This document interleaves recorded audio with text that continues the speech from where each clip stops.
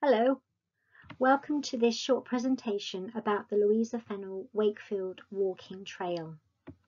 It's a combined authority funded immersive experience, walking into culture, creativity and community. My name is Sarah Leah Cobham and I am the CEO of Dreamtime Creative. We believe that from creativity comes connection and we are also the powerhouse behind the Forgot Women of Wakefield Blue Plaque Parity campaign, of which Louisa Fennell plays an important part. The 2022 State of the District report says that in 2019, 67% of adults in Wakefield District were overweight or obese, and that is pretty average. It also says that walking is simple, free, and one of the easiest ways to get more active, lose weight, and become healthier. Here at Dreamtime Creative, we also understand and actively promote the idea that walking helps with mental and emotional well-being. So we already had an existing Louisa Fennell Trail. It was launched in September 2019, just before COVID, and enabled a whole series of led walks to take place before the March in 2020, but also through the lockdown enabled people to walk independently. Led walks and independent walks take place all the time in Wakefield and I really enjoy getting dressed up as a Victorian character and I'm often seen in Wakefield with my top hat uh, on uh, proudly walking the streets with people behind me, learning about the history and heritage of our city and Louisa Fennell's role in it. You can see on this screen the centre picture, there's a blue graph.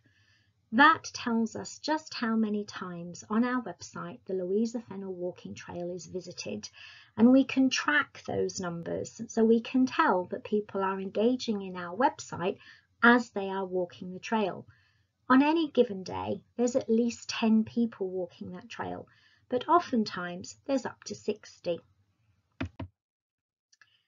So we began our project as a co-production with the Wakefield District City of Sanctuary. As an established arts company, we've got lots of partners and we were looking for an opportunity to engage with our global ethnic majority community or our GEM community. And the funding for this project gave us that unique opportunity to produce a book in six languages that enabled all of our GEM community to engage with the history and heritage of Wakefield. Here we did a walk on Ukraine's Independence Day and there were about 40 people and it was amazing. So throughout the summer months, we were training various GEM community members um, in the history and heritage of the city and Louisa Fennell's life particularly. And now two of those members of the community are continuing to lead groups in their particular language supported by the book that's funded by this grant around Wakefield. It's a wonderful way of breaking down all sorts of um, racial uh, stereotypes. So from creativity comes connection to culture and place. Louisa Fennell's family worshipped at a chapel in Wakefield called the Westgate Unitarian Chapel, and they were actually at the heart of the social and cultural revolution in the 19th century, preaching anti-slavery and equal suffrage from the pulpit that you can see in the photographs there. Our West Yorkshire History Centre holds a lot of Louisa Fennell's original documents, including the diary that she wrote when she was 13 years old. So there is a link between the uh, West Yorkshire History Centre all the way through Wakefield using the panels up to the bottom end or the top end of Wakefield where the chapel is. We had our wonderful day at the chapel and launched the book and as you can see it was attended by the GEM community and other dignitaries at that time. So we actively promote the benefits of walking together as a community across the whole of and all of our communities in Wakefield. And because we believe that you cannot be what you cannot see, we actively look to promote what we do in the press and across all different types of media.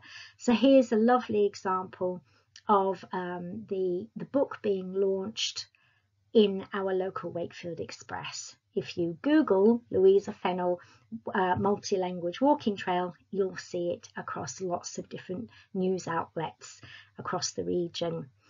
I think the emphasis here is on walking together as a community. So not just the physical walking together, but the emotional, intellectual, spiritual and mental coming together as a community. And it's the power of the funding that has enabled that to happen here in Wakefield. One particular gentleman called Ali Shah, who played a wonderful role in the development of the, the walking trail and now leads those walking trails for different communities across Wakefield, has told me that being involved in this project from beginning to end as an asylum seeker now makes him feel like Wakefield is his home. So for me, that's an incredibly powerful legacy. And for Dreamtime Creative, that's what we're about. Thank you ever so much for listening.